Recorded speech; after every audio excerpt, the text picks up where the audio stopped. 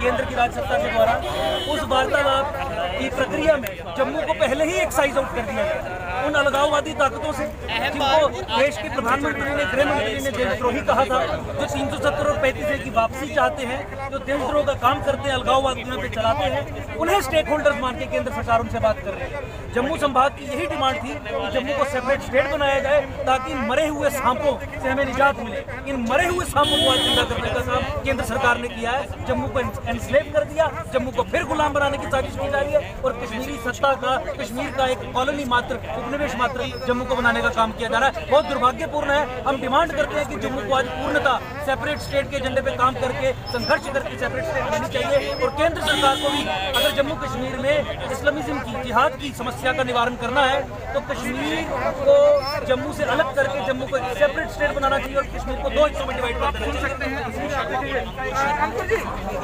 आज ब्लैक में आप बना रहे हैं।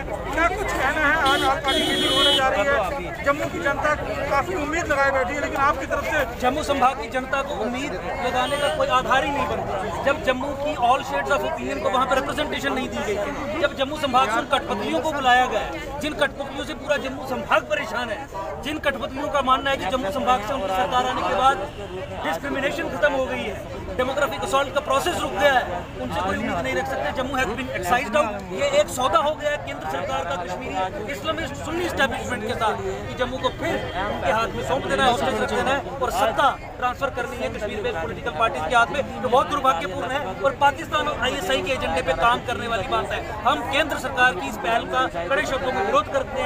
पहल में वार्तालाप में जम्मू को कोई स्टेक होल्डर ही नहीं माना गया।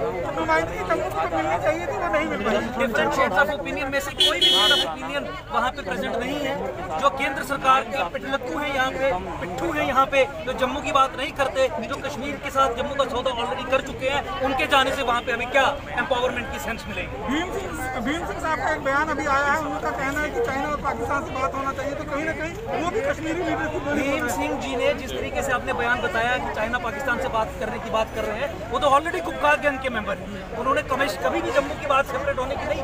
वो इकट्ठे रखना चाहते हैं। गुब्बारियों के साथ मिलते हैं। उनकी विचारधारा से सहमत हैं। वो चाहते हैं कि जम्मू उपनिवेश ही बना रहे। मैं कहना नहीं चाहूँगा कि उनको जम्मू को रिप्रेजेंट नहीं करते। लेकिन हाँ उन्हें आप गुप्कार गैंग में ही कंसीडर करिए। तो गुप्कार गैंग के हिस्सों को और अपने पिठलगुओं को बुला के ये कहना कि जम्मू को रिप्रेजेंटेशन दी गई है, इससे बड़ा धोखा और कोई नहीं हो सकता।